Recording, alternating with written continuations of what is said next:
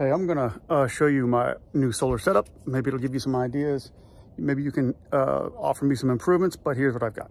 Okay, this is my circuit board. On it, we have, just, just to start with, of course, there's no batteries here, but just to start with, you have the inverter. Okay, the inverter. this comes straight off the batteries, which is obviously not here right now.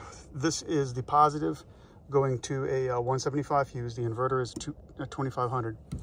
Um, it continues here to uh, the actual off switch. This is the uh, disconnect. Um, we have got also the solar charge controller. This has become one of my favorites, this Victron Energy. Very, very nice. It's got a Bluetooth interface. The interface is very clear. It's got a history. It's got trends. It's very nice. From there, the out for the PV is right here. This is the so this is solar panels, and this is your photovoltaic voltage.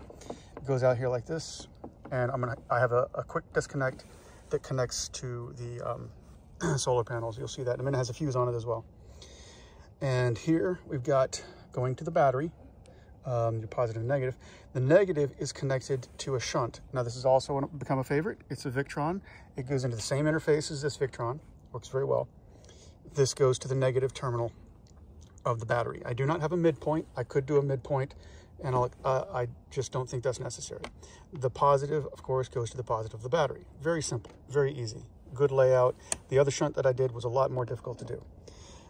the positive side of the battery uh, uh, connector uh, for the uh, for the so uh, charge controller goes to this is my my switch. You know, my, my on off. That's off all right, this is also a. Uh, I kind of use that as an off if I need it. That is a kind of a quick disconnect um, fuse, 60 amp fuse.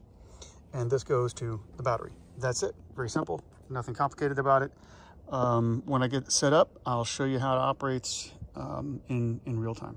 Okay, here's the final setup. Um, you will see that I've drilled a hole through the floor. This is the kitchen, by the way. All right, and we've got, I'll zoom in. It's ugly, I know that, but this is a temporary setup, so don't give me, don't give me any crap. It's a temporary setup. Okay, so we've got uh, all the positives on this side, because this is banked, and all the negatives on this side, all right? Um, you can see where we talked about before, that's the negative, and uh, these positives of Kai. Like I said, it's ugly. Don't give me any crap. I know that it's temporary. I'm just temporarily putting it here to, to uh, charge these batteries on, on a different solar panel. Okay, and uh, the only thing I got to do is I got to, just like I've done with these, um, these cable ties, I got to cable tie that. Um, everything else is, you know, good to go. Uh, what I would like to do is I would like to have a, um, so this is a fuse controlling the shunt. I would like to also put, um, behind the fuse, I'd like to put a switch, or in front of the fuse, I'd like to put a switch. So I can turn that on and off uh, without having to worry about the battery, okay? And that's it. I mean, this, this wave inverter uh, is uh, absolutely amazing. This pure sine wave, it's on. You can't hear it, it's, it's amazing. Okay, that's it. And I just thought I'd give you an update on what the solar looks like. It's a very simple setup, but you've got to remember that when you do this, um, your, um, your, it just depends on, on what you're doing.